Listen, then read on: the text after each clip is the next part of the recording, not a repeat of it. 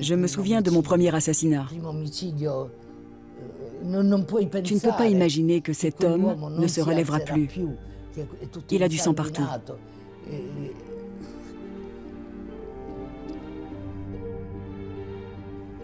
C'était insupportable la douleur. Cette douleur immense d'une mère face à son fils assassiné.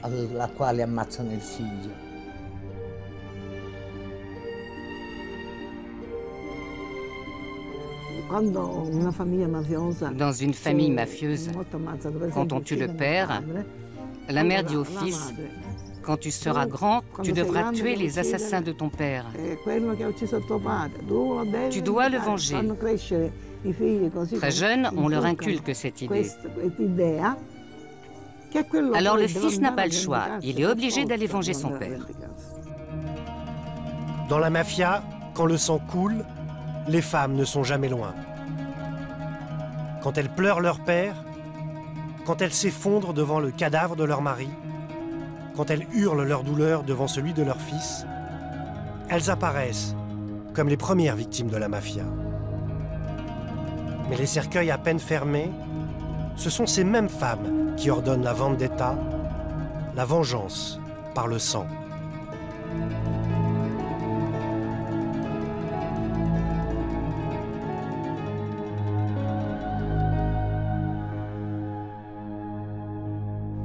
Pendant des années, Laetitia Battaglia a photographié ces femmes de la mafia. Un jour victime, le lendemain criminel. Il y avait une voiture. Par terre, un homme mort dans une flaque de sang. Autour des chaises avec des femmes assises qui pleurent, les mains en l'air, comme ça.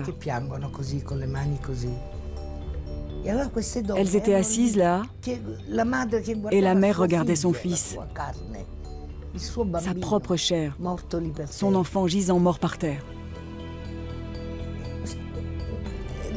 On a la sensation de participer à un drame de Shakespeare, une mise en scène théâtrale, mais qui est pourtant bien vraie. En même temps, c'est comme si cette tragédie n'était pas profonde. Comme si elle s'y attendait en fait. Même quand elle pleure, même quand elles hurlent, on sent une résignation profonde. Probablement parce qu'elles connaissent les valeurs de la mafia. La mafia ou Cosa Nostra est considérée comme l'aristocratie du crime organisé. La mafia est composée de familles on en recense plus d'une centaine en Sicile. Cosa Nostra est partout. Elle s'infiltre dans l'intimité de ses membres et dicte sa loi dans leur maison. Cosa Nostra n'est pas seulement une organisation criminelle, c'est d'abord un système qui organise la vie des mafieux, de la naissance à la mort. Et la femme y tient une place centrale. Le rôle d'une femme de la mafia est de faire comprendre aux enfants que l'organisation mafieuse passe avant toute chose. Il n'y a rien à part ça. Cosa Nostra offre la reconnaissance, la richesse, le pouvoir et un statut. Donc le mieux qu'il puisse lui arriver, c'est de faire partie de l'organisation criminelle de Cosa Nostra. Corleone, un nom qui résonne dans le monde entier et qui sonne comme une malédiction, celle de la mafia. Corleone n'est pourtant qu'une petite ville de Sicile qui tente aujourd'hui d'oublier son passé.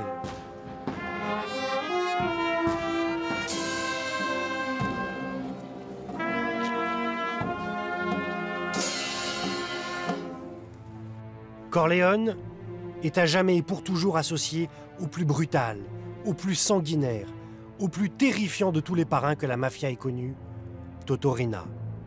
Une brute épaisse qui a déclenché au début des années 80 une guerre sanglante qui a décimé Cosa Nostra. C'était une période extrêmement violente.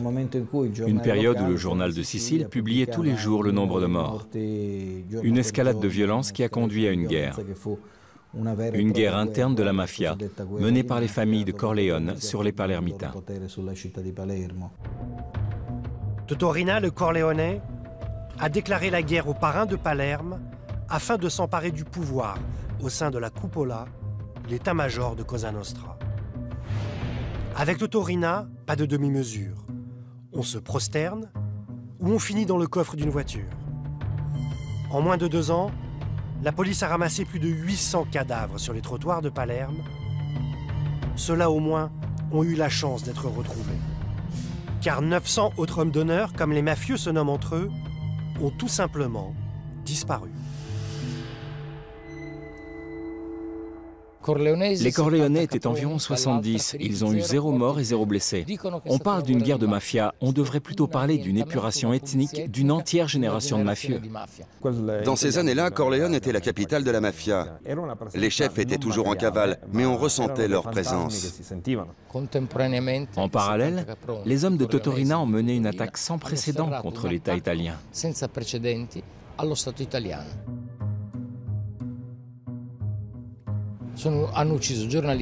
Ils ont tué journalistes, préfets, gendarmes, policiers, politiciens, opposants politiques, chefs de gouvernement, magistrats, entrepreneurs. Une véritable guerre. Voilà la Sicile et Palerme des années 80. La parole qui décrit le mieux ces années, la peur. Et derrière toute cette violence, une femme, la femme de Totorina, Ninetta Bagarella, une institutrice discrète, une beauté vénéneuse, considérée aujourd'hui comme l'âme damnée de son mari.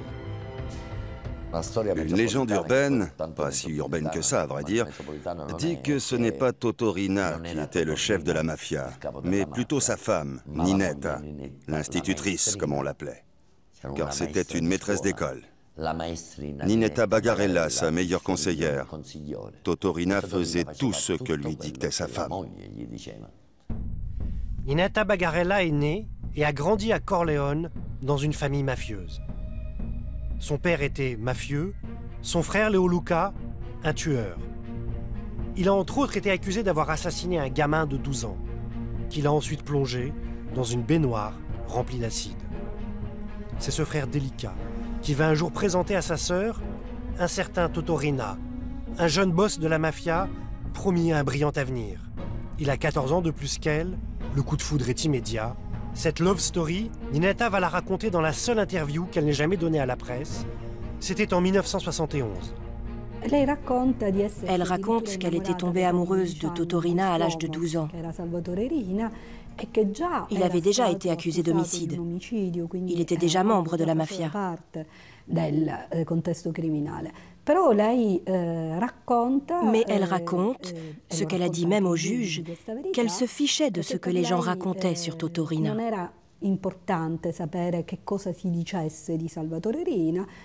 Elle était une femme et elle était tombée amoureuse de cet homme. Et le cœur a ses raisons que la raison ignore. Non seulement elle est la femme de Totorina, mais c'est aussi la sœur de Leoluca Bagarella, un autre chef mafieux très important. Une femme qui a donc vécu toute sa vie au cœur de l'organisation mafieuse.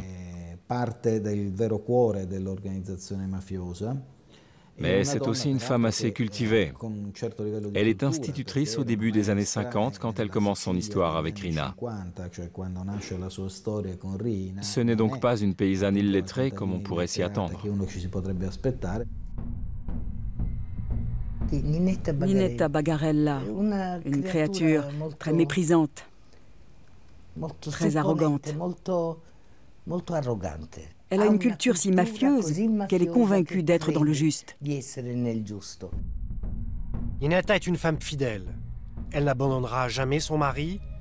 Elle le suivra sans la moindre hésitation dans la clandestinité. Elle n'a jamais trahi son mari. Pendant 40 ans, elle a été sa compagne et l'a suivie même pendant sa longue cavale. Elle lui a donné quatre enfants et les a élevés. Comment on fait pour vivre en cavale pendant 40 ans avec toute une famille? Seule une femme de caractère a pu faire une chose pareille. En 1993, Totorina, l'ennemi public numéro un, est arrêté avec sa famille dans la banlieue de Palerme.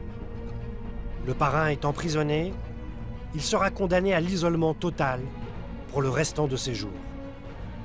Ninetta se retrouve seule. Elle décide alors de retourner sur les terres de ses origines. Elle s'installe à Corleone.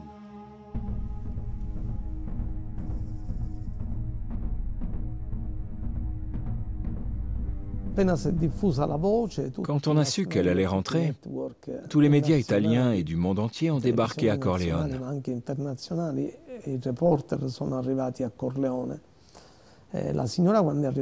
Madame Bagarella est allée voir les gendarmes pour dire « je suis ici ». Quand elle est sortie, elle s'est retrouvée face à tous ces journalistes. Alors elle s'est recouvert le visage et elle est sortie.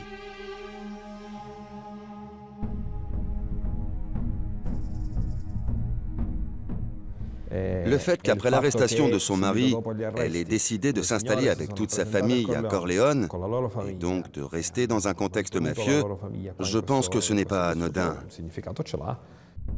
En retournant à Corleone, Ninetta envoie un signal fort. Même si son mari est derrière les barreaux pour toujours, l'Irina ne renonce pas à la mafia. Les rares fois où elle apparaît en public, Ninetta se montre fière et déterminée. Comme ici aux côtés de sa fille, lors du procès de son mari. Cet affront, elle va le payer. La police va harceler Ninetta et ses enfants. Excédée, elle écrit en 1996 une lettre au procureur de la République dans laquelle elle demande que cette pression s'arrête. Cette lettre est l'un des meilleurs documents que l'on possède sur la culture mafieuse. Ninetta y est sincère, elle se présente comme une bonne mère, exemplaire, à tout point de vue.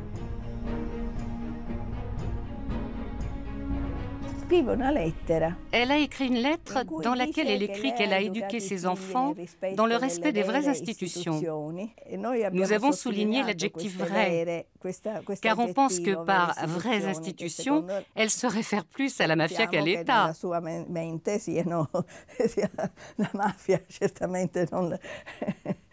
Elle revendique l'éducation qu'elle a donnée à ses enfants.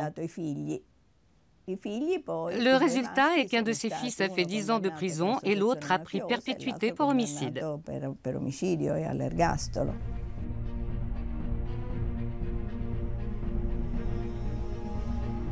eh, Dans cette lettre qu'elle a écrite, eh, elle défend ses fils, en particulier son fils Giovanni. Eh, elle dit Mes fils n'ont qu'un seul péché, celui d'avoir voulu respecter le quatrième commandement qui dit Honore le père et la mère. C'est une mauvaise mère. Une mauvaise mère. C'est une mère qui n'a pas protégé ses enfants et qui est toujours restée dans cette culture mafieuse. Aujourd'hui, Ninetta Bagarella mène une vie tranquille à Corleone. C'est une femme discrète et pieuse comme le veut la tradition mafieuse. On la croise à la messe tous les jours, on la salue, timidement. Ninetta a sa maison dans le centre du village. Et elle est respectée par tout le monde. Voici un document unique, une vidéo filmée par Pino Magnacchi en 2008. Ninetta Bagarella marie une de ses filles dans une église de Corleone, à la vue de tous. Une cérémonie toute simple, au bras de la mariée, son frère Giuseppe, tout juste sorti de prison. On sourit même à la caméra.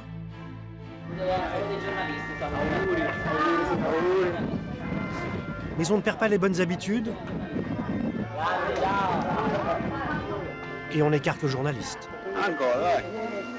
Pendant la cérémonie, le nouveau beau-fils n'oubliera pas de rendre hommage aux grands absents en prison, les plus grands criminels de la mafia.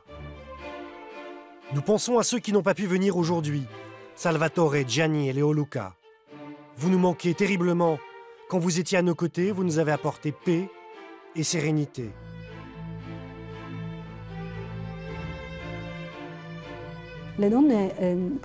Les femmes pendant très longtemps, et Ninetta a été parfaite dans ce rôle,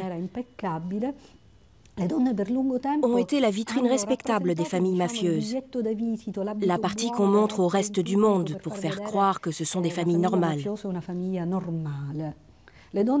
Ces femmes doivent montrer en public qu'elles sont parfaites. Elles vont à l'église, elles vont aux cérémonies publiques, elles sont extrêmement cordiales. Comme ça, les gens se disent, comment une femme si bien a-t-elle pu se marier avec un homme aussi sanguinaire? Ninetta a réussi l'exploit d'avoir échappé toute sa vie à la justice, alors que le bilan des Corléonais est le plus sanglant de l'histoire du crime. Avec son brushing impeccable et son allure de maîtresse d'école, cette femme garde en elle le secret du trésor des Corléonais.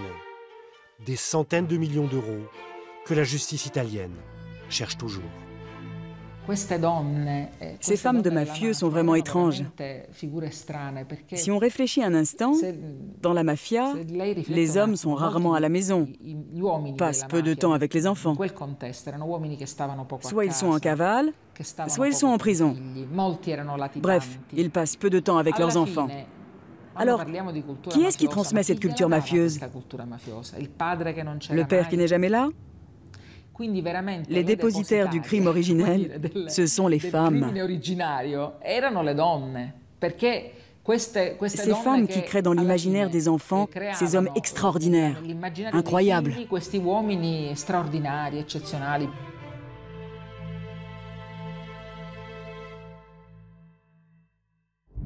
Au début des années 80, les familles mafieuses de Palerme ont été décimées par la guerre que leur ont livrée les Corléonais pour le contrôle de Cosa Nostra.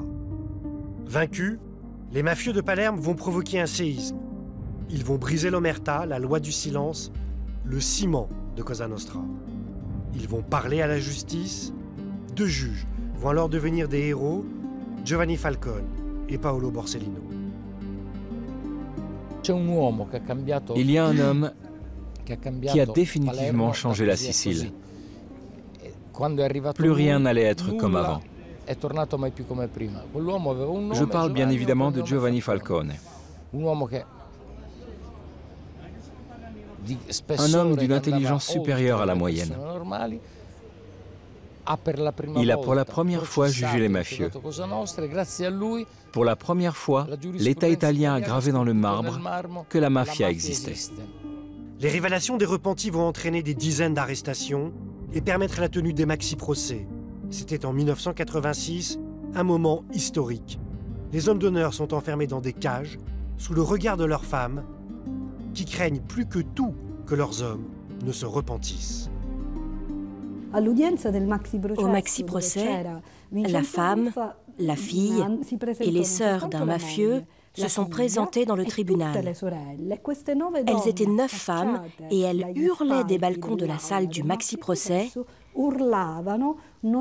ce n'est pas mon mari, ce n'est pas mon frère, il ne veut pas collaborer.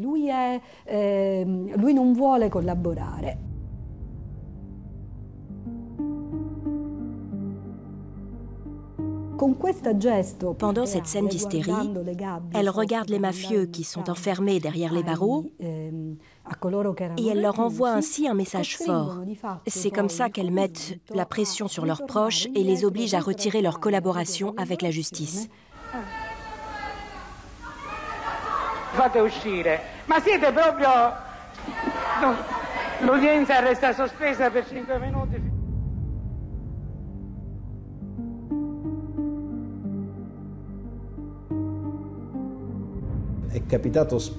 Ça arrive régulièrement que des mafieux qu'on a arrêtés et qui hésitent à collaborer avec l'État prennent une décision après avoir revu leur femme.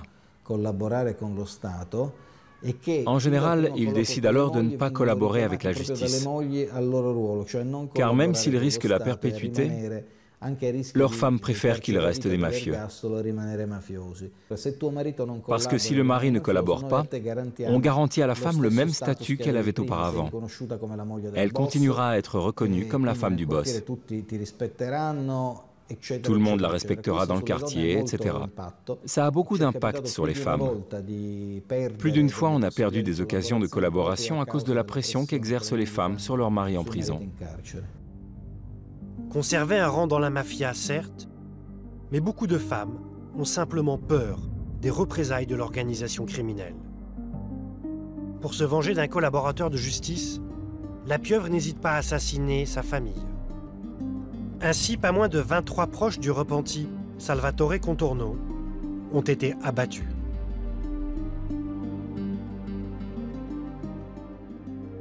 Peu de femmes ont collaboré avec la justice. Pourtant, un jour de printemps 1991, une jeune fille de 17 ans, originaire de la campagne, dans le sud de la Sicile, se présente à la justice. Spontanément, elle fait enregistrer la déposition suivante face à des fonctionnaires qui n'en reviennent pas. Je m'appelle Rita Atria, j'ai 17 ans. Je suis née à Partane. Je suis la sœur de Nicolas Atria, tué le 24 juin 1991. Je me présente à vous pour vous donner des informations sur les épisodes et les circonstances qui concernent la mort de mon frère et l'assassinat de mon père, mais aussi pour vous donner des informations plus générales sur le milieu d'où je viens.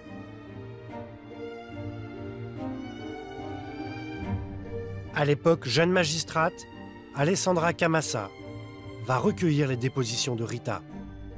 Elle venait donner des informations très précises de l'intérieur sur le fonctionnement de la mafia. C'était une période particulièrement dangereuse. À cette époque, il y avait un assassinat toutes les deux ou trois semaines à Partane.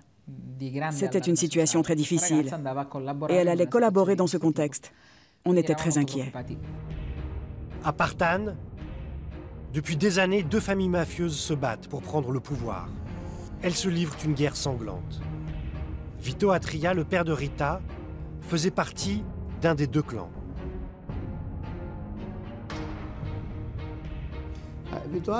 Vito était berger. Il faisait partie d'une des deux familles mafieuses de Partane. On l'appelait le pacere, c'est-à-dire celui qui résolvait les problèmes entre les gens. Des problèmes qu'il avait en réalité probablement créés lui-même. Le père de Rita sera assassiné par son propre clan en 1985, laissant les femmes de la famille sous la responsabilité de son fils Nicolas, le frère aîné de Rita. Le père a été assassiné dans la campagne, là où il avait ses moutons. Il a été assassiné par ses propres hommes, ses amis. Le fils, dans la douleur, a juré qu'il allait se venger. Mais la vendetta n'aura jamais lieu.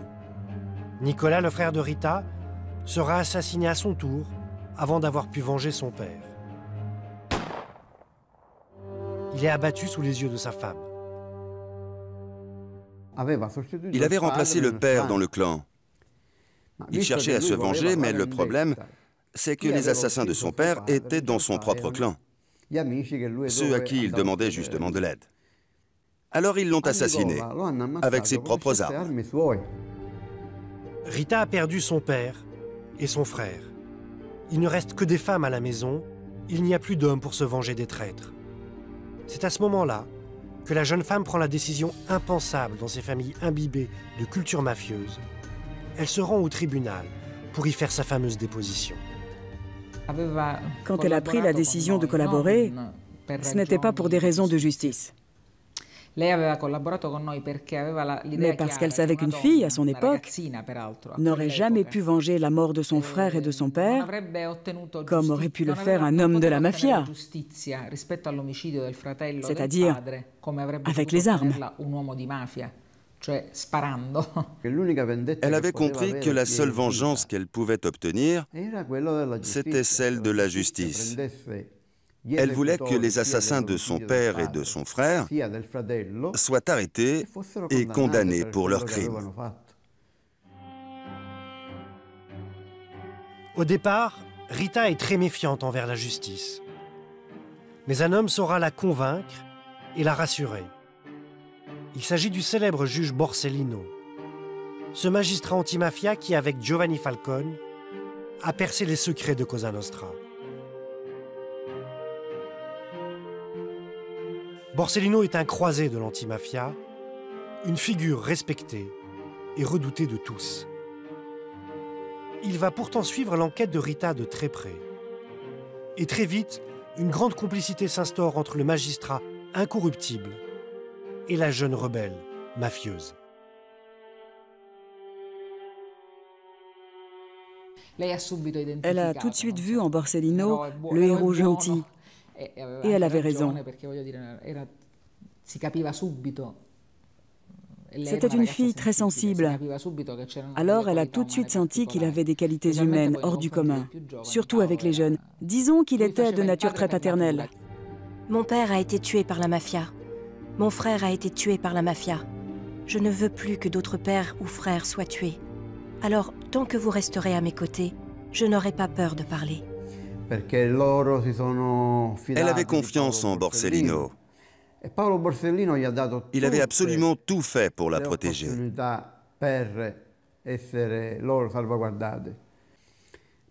Elle l'a même rejoint un été à la mer où il était avec ses enfants. Il l'appelait Bambina, petite fille. Pour Rita, la figure de l'homme était fondamentale. Il ne faut pas oublier qu'elle avait perdu son père qu'elle aimait tant, qui a été assassiné. Son frère ensuite, dont elle était très proche. Les références masculines lui manquaient. La décision de Rita est rejetée par toutes les femmes de sa famille. Sa mère et sa sœur vont rester fidèles à la mafia. Quand elle a commencé à collaborer, elle a tout de suite dit qu'il y aurait un problème avec sa mère, que c'était une femme très fermée qui n'accepterait jamais cette décision. Mais je ne pense pas qu'elle ait imaginé à quel point sa mère s'opposerait à cette collaboration. Elle refusait ce qu'avait dit Rita. Pour elle, ce qu'avait fait sa fille était une infamie. Le terme utilisé par les familles mafieuses pour parler des collaborateurs de justice, c'est le terme infâme, car ils trahissent l'organisation.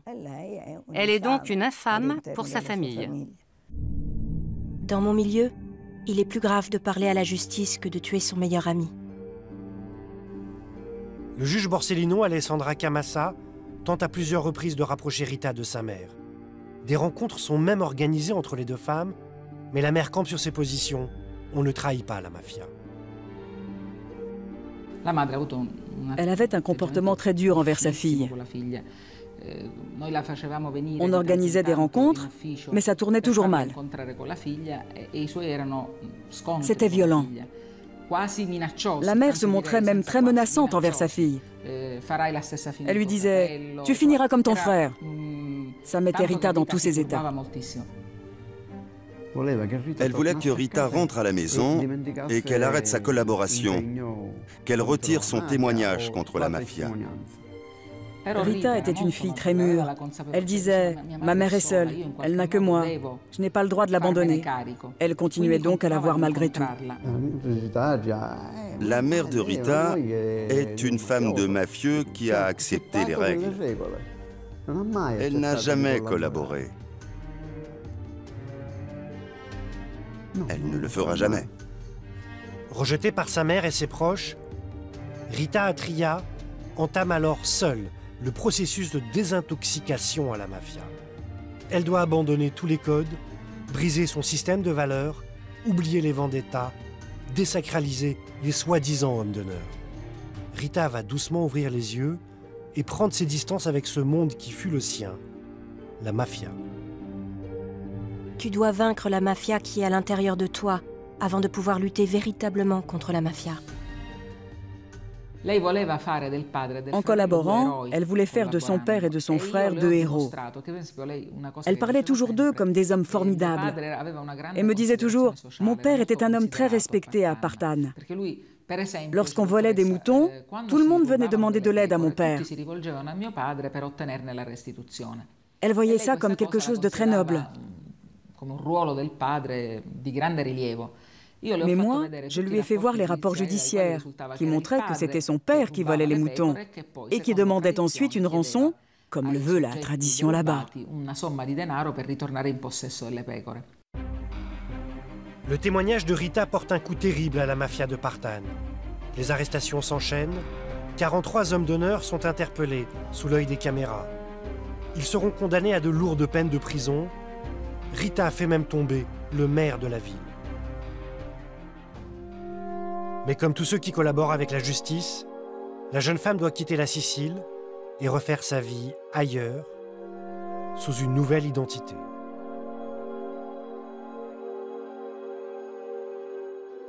Elle est transférée à Rome, sous haute protection. Une nouvelle vie commence pour elle.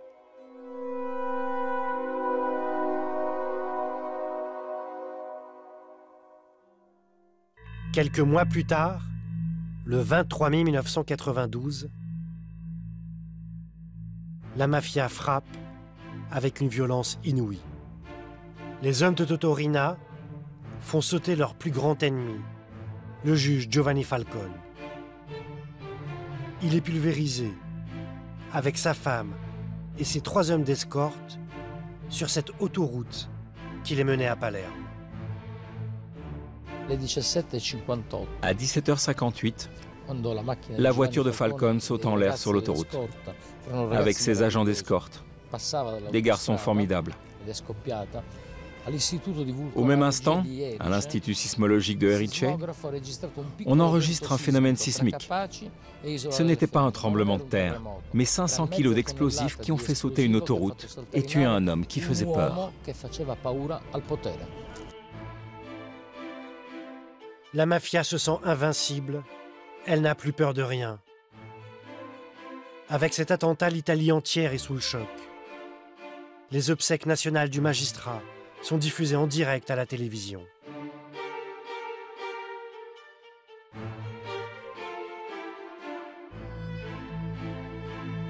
Falcon mort, la relève est assurée par son collègue, Paolo Borsellino, le juge s'occupe de Rita Atria. Désormais, c'est lui qui porte tous les espoirs de la lutte contre la mafia. Mais il sait qu'il est le prochain sur la liste. Ce n'est plus qu'une question de temps. 57 jours seulement après la déflagration qui a emporté le juge Falcone, une bombe explose à nouveau au cœur de Palerme. Paolo Borsellino est pulvérisé à son tour avec ses cinq hommes d'escorte. Avec cet attentat, la mafia semble avoir définitivement gagné la partie. Alessandra Camassa est chez elle lorsqu'elle reçoit un appel téléphonique. Un attentat contre Borsellino Ça me semblait impossible si peu de temps après la mort de Falcone. Une voiture piégée a été garée devant le domicile de la mère du magistrat, à qui il rend visite ce jour-là. La déflagration est retentissante. On compte des dizaines de blessés, six maisons sont incendiées et 51 voitures sont en flammes. Après plusieurs coups de fil, j'ai eu la confirmation. Et là, je ne sais pas ce que j'ai ressenti. Une tragédie après l'autre. Un sentiment d'insécurité, de fragilité et de peur aussi.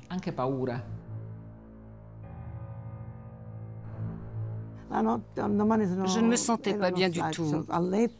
Le lendemain matin, j'ai allumé ma télé. et là, il y avait un magistrat qui disait ⁇ Tout est fini ⁇ Et moi, j'ai crié. non, ne dis pas ça, ne dis pas ça. C'était un message négatif qu'on envoyait à la population. Ça veut dire que la mafia a gagné? Non. Comment va-t-on mener les enquêtes maintenant? On va déclarer l'état de guerre? Nous ne comprenions pas ce qui allait se passer. La police ne savait plus quoi faire, tout le monde était en panique. On avait la sensation que la démocratie était en train de s'effondrer. Voilà comment on a vécu cet été, un été horrible. Les mafieux de Corleone avaient dépassé la limite de la décence humaine.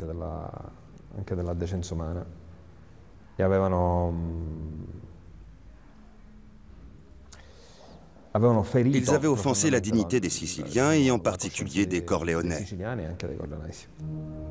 Alors que l'Italie horrifiée a les yeux rivés sur la Sicile, Rita Atria est seule à Rome, enfermée avec ses gardes du corps.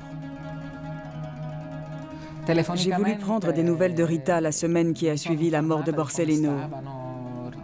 J'ai essayé de la joindre par téléphone, mais elle était protégée, alors je n'avais pas le droit de lui parler directement. Quand Borsellino est mort, elle s'est sentie perdue. Elle venait de perdre un second père. Je pense qu'après la mort de Borsellino, elle a pensé que tout ce qu'elle avait fait était inutile, que tout cela n'avait servi à rien. Maintenant que Borsellino est mort, personne ne peut comprendre le vide qu'il a laissé dans ma vie. Tout le monde a peur. Moi, la seule chose dont j'ai peur, c'est que l'État mafieux gagne. Et que ces pauvres idiots qui se battent contre des moulins à vent soient tous tués. Borsellino, tu es mort pour ce en quoi tu croyais. Moi, sans toi, je suis morte. Et quelques jours plus tard, Rita Atria se jette d'un balcon de Rome du sixième étage. Ce jour-là, elle a pris des calmants. C'était probablement pour l'aider à prendre sa décision. La collaboration de Rita Atria avec la justice n'aura duré que neuf mois. Lorsqu'elle se suicide, elle a à peine 17 ans. Toute son histoire peut justifier cet acte. Mais ça ne l'expliquera jamais complètement. Rita avait fait un choix très dur. Elle a eu un père assassiné, un frère assassiné, un petit copain qui l'a largué, et elle a été rejetée par sa mère et par sa sœur. On ne pouvait pas s'empêcher de culpabiliser. Une jeune fille de 17 ans qui meurt pour avoir dénoncé la mafia et sa propre famille. Rita Atria sera enterrée dans son village de Partane. Mais même morte, sa famille ne veut plus entendre parler d'elle. Elle a trahi et aucun habitant ne veut ou ne peut assister à ses obsèques par peur des représailles de la mafia qui ne pardonne jamais. Ici, on surnomme la jeune femme avec mépris la petite qui a trahi l'honneur de sa famille. La femme du maire adjoint de Partane a été interviewée par un journaliste. On lui a demandé si elle viendrait pour représenter la mairie. Elle a répondu non, je ne peux pas parce que je dois aller à la mer. Elle devait aller à la mer. Et elle ne pouvait donc pas venir. Le tragique destin de Rita bouleverse l'opinion. Des femmes engagées contre la mafia décident alors de se rendre à son enterrement. Le cercueil est sorti d'une salle, porté par quatre hommes. J'ai dit non, pas les hommes. Et c'est nous les femmes qui avons porté Rita jusqu'à la tombe.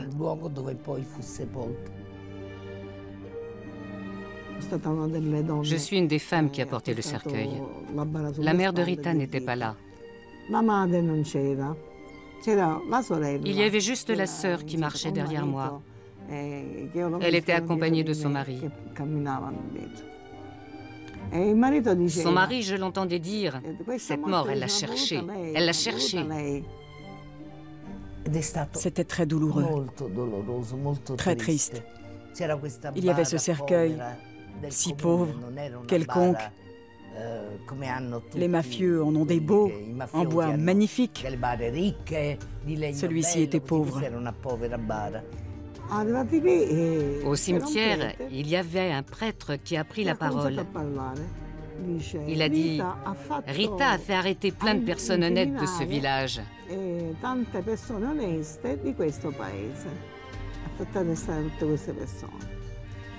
Alors, nous lui avons tourné le dos en signe de protestation. Même morte, Rita n'est pas au bout de son calvaire.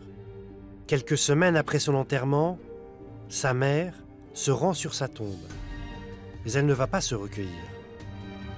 En guise de bouquet de fleurs, elle tient un marteau. Puis il y a eu cette tragédie. La mère de Rita est allé profaner la tombe de sa fille à coups de marteau. Con martello inavvertitamente ha rotto il libro che non voleva che si doveva mettere la fotografia. Veramente noi non abbiamo visto niente. Sul libro non c'era scritto, non è che c'era una cosa difficile. C'era scritto la data di nascita e la data di morte di Ritaria. E più c'era scritto poi la verità vive. La mère de Rita sera condamnée pour avoir profané la tombe de sa fille. Mais curieusement, elle va demander à ce qu'elle soit déterrée pour la faire enterrer aux côtés de son père, assassiné par la mafia quelques années plus tôt. Elle voulait que sa fille soit avec son père, ce qu'elle a fini par obtenir.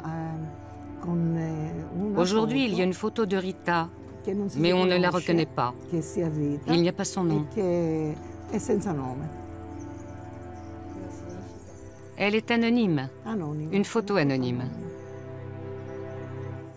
On lui a demandé plein de fois pourquoi il n'y avait pas le nom de Rita. Elle a toujours répondu « Je sais que c'est ma fille, pas besoin d'avoir par écrit qu'elle s'appelle Rita Atria. » La mère de Rita a retiré toute dignité à sa fille en refusant de graver son nom sur la pierre tombale. Mais elle a en même temps voulu que cette fille qu'elle a reniée repose aux côtés de son père. C'est une grande tragédie. Chez nous, ce genre de choses n'arrive pas. Mais dans ces villages, dans ces trous, où tout est si compliqué, où règne la mafia en l'absence d'État. Les gens vivent comme ça, maudits. La mère de Rita vit encore aujourd'hui à Partane. Elle n'a jamais eu de problème avec la mafia, car elle n'a jamais, durant toutes ces années, honoré la mémoire de sa fille. Une infâme. Dans les mois qui suivent la mort de Giovanni Falcone, Paolo Borsellino, Rita Atria et tant d'autres, l'État italien prend enfin conscience de la puissance destructrice de la mafia. L'état de guerre est déclaré, l'armée débarque en Sicile, terre infidèle. Malheureusement, nous avons vécu une situation terrible. Le 19 juillet 92, après l'attentat de Borsellino, nous avons eu l'armée dans les rues. En Europe, ce n'est pas chose courante d'avoir l'armée qui maintient l'ordre dans les villes. À partir de 1992, et pour la première fois depuis 150 ans, l'État va maintenir une pression constante dans la lutte contre la mafia et va arrêter de nombreux chefs mafieux. Alors qui reste-t-il dans les villages Qui reste-t-il dans les familles mafieuses? Les femmes. Partinico, une petite ville à 40 km de Palerme. Ici règne le clan mafieux des Vitale. C'est l'une des familles les plus violentes de la mafia. Trafic de drogue, détournement de marchés publics, raquettes, extorsion, aucun secteur d'activité n'échappe aux Vitale. Pino Magnacci est journaliste à Partinico.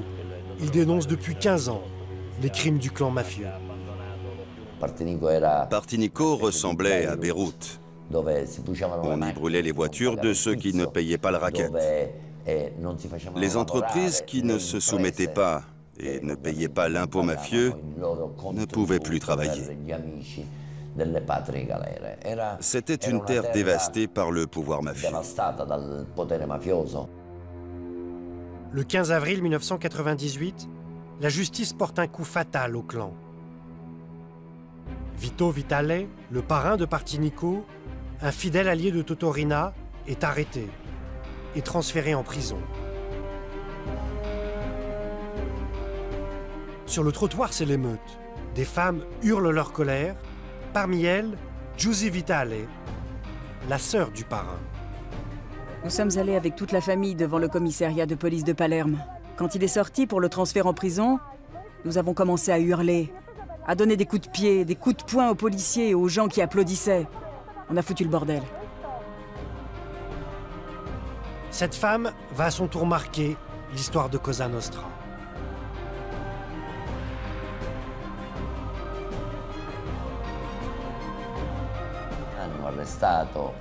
Ils ont arrêté le sommet du clan de Partinico. Ils se sont retrouvés si mal en point à la suite de toutes ces arrestations qu'une femme a pris la place du chef.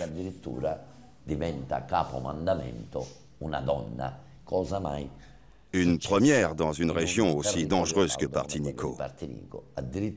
La sœur Giusy Vitale prend la place de ses frères.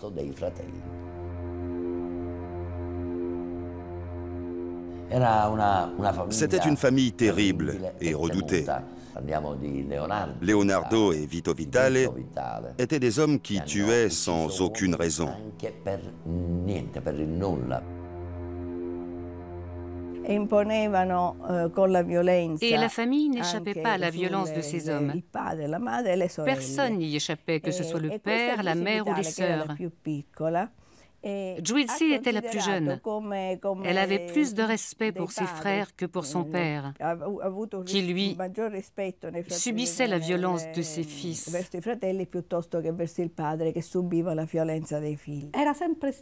Elle a toujours été considérée par ses frères comme une personne de confiance. Elle a grandi avec eux et elle les accompagnait régulièrement, donc elle connaissait bien leur milieu. Pendant la cavale de ses frères, c'est elle qui passait déjà les messages. Vito et Leonardo Vitale ont longtemps vécu en cavale pour échapper à la police. C'est au cours de cette période que Giusy va s'imposer et se rendre indispensable auprès de ses frères. Elle va gagner leur respect, mais aussi celui des autres hommes d'honneur. Et à Partinico, tout le monde sait qui elle est en réalité. On la voyait dans les rues. Elle entrait dans les magasins. Elle achetait. Enfin, non.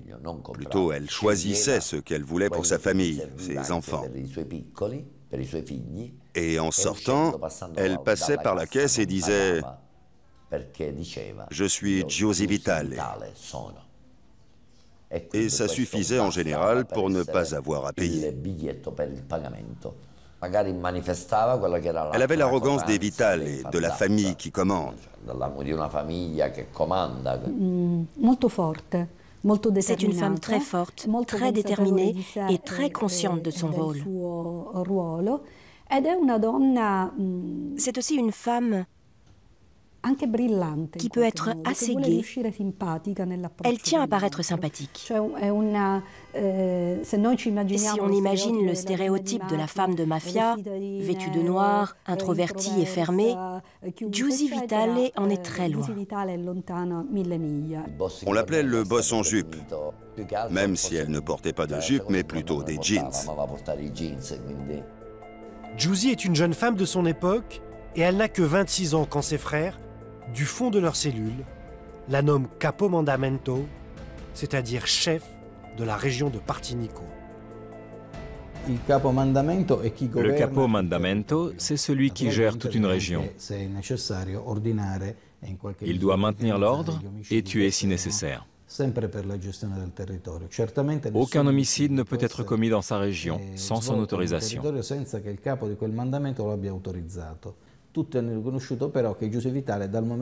Giusy était reconnu par tout le monde comme le chef de Partinico. Et nous avons les preuves que dans la région, elle a géré le trafic de drogue, les assassinats et le racket au même titre que l'aurait fait un homme. D'un côté, Giusy dialogue et rencontre les autres chefs mafieux. Mais de l'autre côté, elle raconte qu'elle n'avait pas le droit de se rendre seule aux réunions des chefs. Ce n'était pas bien vu qu'une femme seule aille dans ces réunions où il n'y avait que des hommes. Elle devait alors se faire accompagner par un membre de sa famille pour préserver son honneur. Donc, une femme peut ordonner un assassinat, ça ne pose pas de problème, mais elle n'a pas le droit de faire douter de son honneur de femme. Et elle doit donc être accompagnée par un homme de sa famille dans les réunions. La nomination de Giusy Vitale est un fait inédit dans les annales de la mafia. Du jamais vu. Pour la première fois, une femme est nommée chef, qui plus est un chef qui n'a jamais été initié par le rituel mafieux. Giusy Vitale n'a pas été officiellement affiliée car elle n'a pas fait le serment qui marque l'entrée des nouveaux membres de la mafia. Elle n'a pas prononcé la phrase que ma chair brûle comme cette sainte si un jour je trahis Cosa Nostra.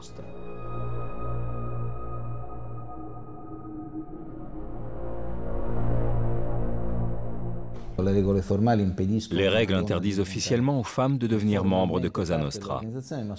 Mais Giusy Vitale va quand même le devenir dans les faits. Dans les interrogatoires, on comprend qu'elle a été une femme d'honneur. Elle utilise les mêmes termes de langage, la même capacité de raisonnement et prend les mêmes décisions qu'un mafieux. Giusy a la même façon de représenter les choses et de s'exprimer qu'un membre masculin.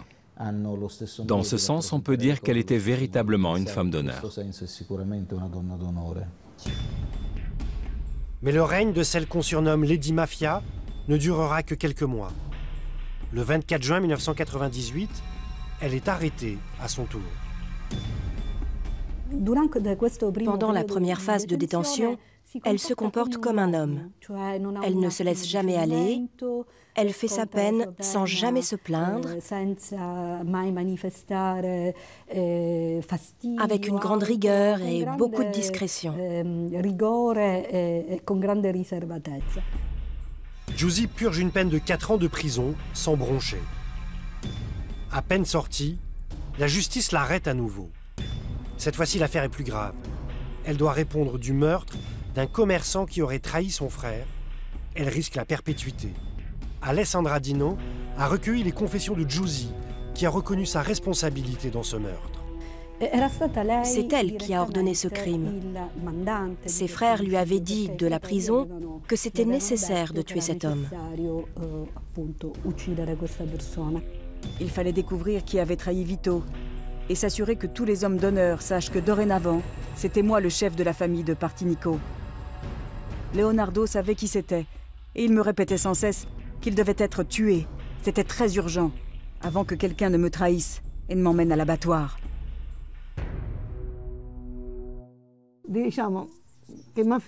Quand un mafieux tue, c'est un peu comme un boucher qui tue un agneau. C'est une habitude. Après, il rentre chez lui tout tranquille. Elle m'a raconté que pendant que l'assassinat se déroulait, elle était allée dîner dans une pizzeria avec ses enfants pour avoir un alibi et surtout ne pas être impliquée dans l'enquête.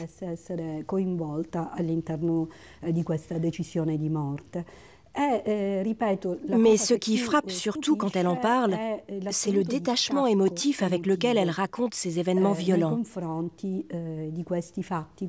Car selon elle, si elle ne l'avait pas fait, c'est elle qui aurait été tuée.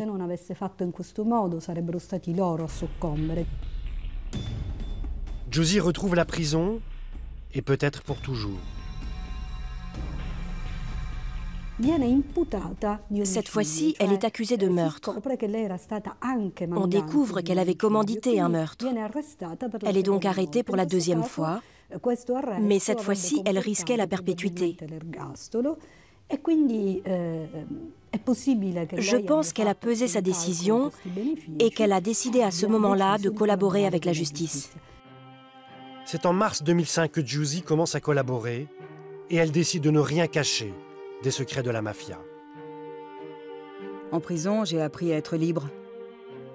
Mes pensées m'appartenaient à nouveau. Le temps m'appartenait. Je m'appartenais. Je voulais vivre pour moi et pour mes enfants. Ça n'allait pas être facile, mais j'avais 33 ans. Et je pouvais recommencer à zéro. Josie recommence sa nouvelle vie seule avec ses enfants. Mais pour sa famille, elle est désormais devenue une infâme. Quelle douleur de lire dans les journaux que même ma mère m'avait répudiée, qu'elle racontait partout qu'elle avait décoré toute la maison de noir, couleur du deuil, qu'elle n'est aujourd'hui que la mère de mes frères.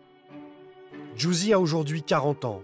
Elle vit avec ses enfants sous le programme de protection des témoins. Elle porte un nouveau nom mais elle n'a jamais renié pour autant son passé criminel. Elle refuse catégoriquement le terme de repenti. Elle dit Je ne me repens de rien. Je n'ai pas de quoi me repentir. Et d'ailleurs, ça ne sert à rien, puisque ceux qui sont morts ne peuvent pas renaître en tout cas. Ce que j'ai fait, je l'ai fait parce que c'était nécessaire et parce que j'y croyais. Si je ne l'avais pas fait, c'est eux qui m'auraient tué. Se repentir n'a du sens que pour l'avenir.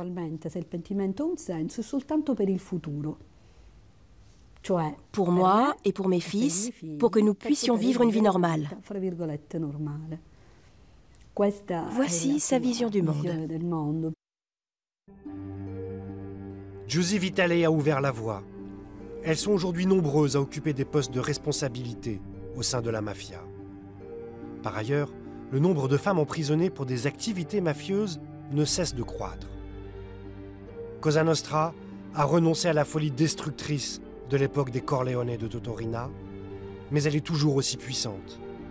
Elle a su se faire oublier une mafia qui vit au rythme de son époque, une criminalité en col blanc et en jupon.